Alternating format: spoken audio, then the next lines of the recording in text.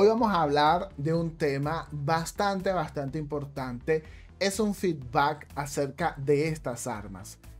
Le quitan lo divertido al juego, no son competitivas, significa tener demasiada ventaja. Jamás en todo el tiempo que he jugado en World Robots he probado un arma que tenga tanta ventaja sobre todo lo demás.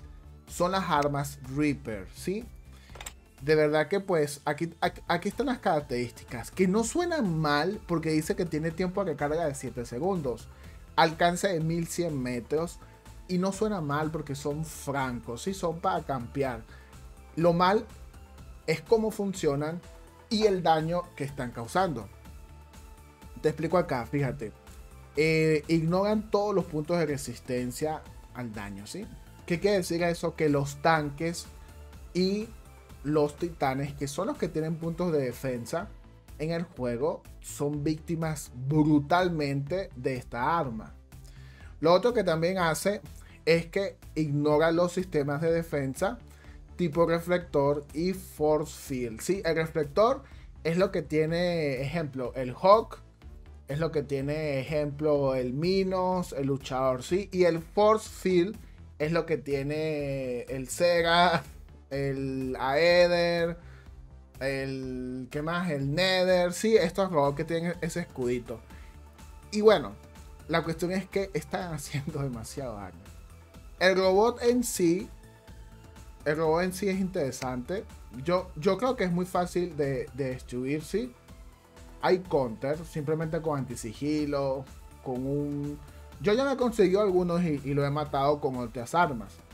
Tiene una habilidad que es que tiene sigilo permanentemente, ¿sí? Y otra habilidad que se llama Overpower, que aumenta el daño. Y tiene rompescudos al mismo tiempo. Yo lo usé así, gente. Un solo Nuclear Amplifier, dos Cracking Unit para más sigilo. Y utilicé Fake Chief porque utilicé este drone que me ayuda a recuperar vida después del Fake Chief.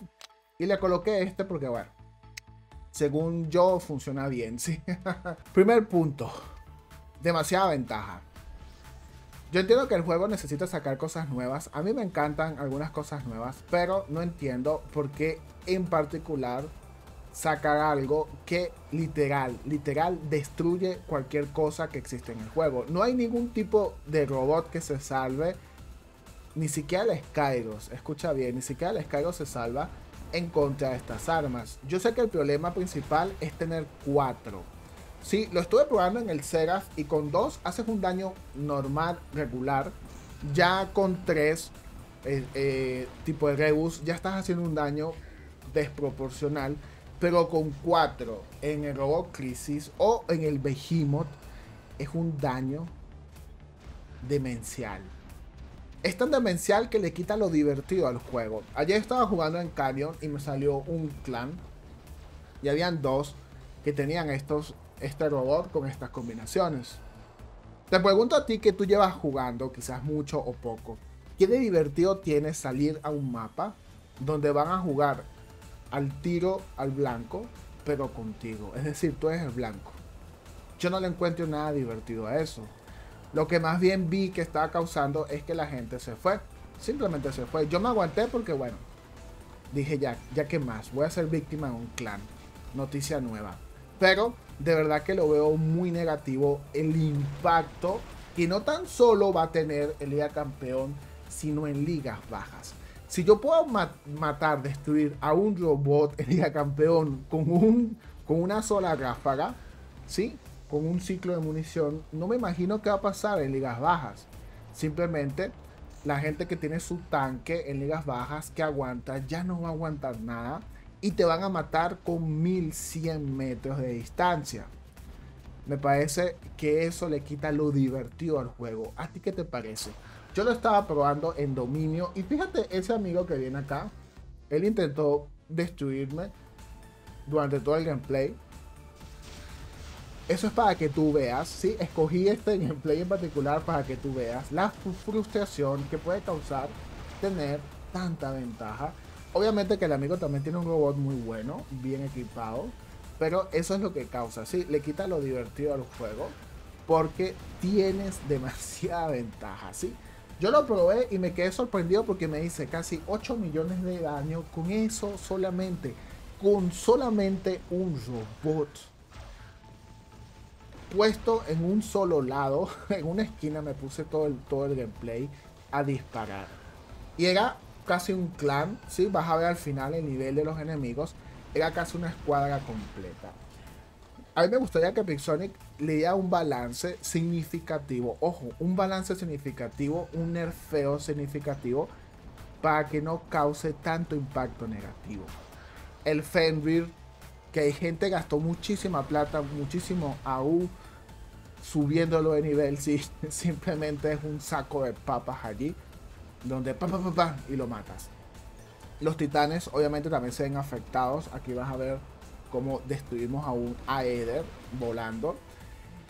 Ahora, ¿qué va a pasar con estas armas, gente? Si tú eres free to play, yo las tengo en esta cuenta, que no es la mía, también las tengo en mi cuenta, pero en mi cuenta yo no las he subido de nivel. Y tú digas, ¿por qué? Pinceladas. Joder, esto, esto va a ser balanceado. Esto va a ser nerfeado. es algo insólito. El daño que está causando. El robot no tanto. El robot más bien es muy fácil de, que lo puedas destruir. En este gameplay porque eh, fíjate que es el mismo que vino. venía, venía a tratar de matarme. Eh, es muy fácil de hacerle counter. Eh, un Lynx se te pega. Sí, la cuestión es que bueno, aquí el equipo mío, el equipo mío jugó muy bien y yo me pude proteger de los edificios. En ofensiva de balizas no me gustó, realmente me mataron muy fácil esta equipación, pero en dominio sí se ve el impacto brutal y no se diga, no se diga en combate a muerte. Entonces bueno, este feedback es simplemente para que ustedes sepan que esto va, va a venir. En campeón ya está. En campeón ya está. Tiene un impacto súper, súper negativo. Está demasiado chetado. Y si tú te atreves a subir esto de nivel, bueno, ya eso es decisión tuya. Yo te daría el consejo que si tú puedes y juegas en un clan competitivo, esto es una bestia. Pero si tú no puedes, esto es un proyecto muy costoso, son cuatro armas, tres armas, un arma, que lo más probable es que salga más adelante mega nerfeada por el daño que está haciendo. Eso es lo que les puedo decir, mi gente. En verdad, eh, hice este video tarde porque lo estaba probando detalladamente y bueno, quería ver, eh, deducir cómo funcionaba con otras combinaciones, estilo Seraph, estilo Reus por allí hasta lo probé. con el. ¿Cómo se llama esto? Ah, se me olvidó con el robot que tiene dos armas y tiene escudo X. Se me olvidó. Ese robot llevo tiempo sin usarlo, pero alguien en un directo me preguntó de él. Y yo dije, voy a usarlo con estas armas que están chetadas. Y bueno, volvió a la vida ese robot. Se me olvidó que es camper, que tiene un escudo a X y puedes cambiar escudo por escudo físico. Bueno, la cuestión es que esto está yo me río porque, bueno, ¿qué más? No puedo hacer más nada. Yo ya sé cómo funciona el juego. A veces me molesto, me fastidio porque somos humanos, tenemos em, emociones, etc. Pero ya sé que esto, esto huele, huele. Y no huele a café, huele a nerfeo.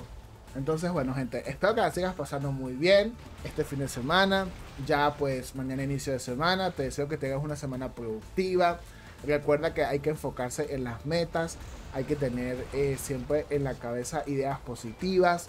Si te suceden cosas malas y tú tienes ideas y emociones positivas, lo más probable es que te puedas enfrentar a esa situación negativa de una mejor forma. ¿Sí? Siempre hay que buscar una salida. Así tú la veas difícil, siempre hay que tratar de buscar esa salida que te ayude a ir avanzando hacia tus metas. Ya esto se va a acabar y ya vamos a ver el final. el final de, del gameplay. Sí, pero les queda también ese consejo, ese mensaje. Porque estamos viviendo situaciones sumamente catastróficas. Aquí, ejemplo, en Venezuela están quitando otra vez la luz dos veces al día. Seis horas sin luz. Entonces, es triste. Uno se llena de emociones negativas. Pero hay que tratar de buscarle la vuelta. Siempre hay que tratar de buscar la vuelta para que esas situaciones no te controlen, ¿sí? Fíjate acá el daño que estoy haciendo. Allá hice una kill casi que instantánea, ¿sí? El, que se asomó allá con escudo a Aegis. No supe que era un Mars, un tipo, lo que sea. Y fíjate ahí, ese estaba medio escondido. Y las armas no fallan. pues allá está un titán. Ese titán ahorita le hacemos daño a ese arcángel. Le hacemos. Pero mira esto, las están a tu casa. Tienes las están, no importa que tengas las están. Igual para tu casa. ignoran todo. Ignoran todo. Lo que no van a ignorar es el nerfeo. Fíjate, este titán tiene la mitad de la vida. Que es bastante. Ahorita vuela.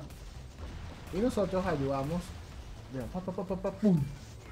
Loco, la mitad de un titán con estas armas. Ah, es, algo, es algo ilógico. Es algo ilógico, pero bueno. Vamos a ver. Vamos a ver qué sucede de aquí a unos meses cuando llegue el balance, cuando el juego se dé cuenta que esto esté desbalanceado. Yo no creo que se, se dé cuenta de aquí a unos meses, ¿sí? A mí algo me dice que la próxima actualización posiblemente que vayan a hacer un pequeño balance a esto antes.